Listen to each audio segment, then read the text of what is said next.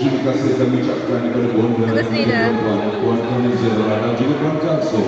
Dan untuk meneruskan acara, kami persilakan ayah dan bonda pengantin lelaki yang berbahagia Tuan Haji Mahat bin Dawi dan juga yang berbahagia Puan Haji Rosiah binti Haji Sirajudin meneruskan acara. Dipersilakan.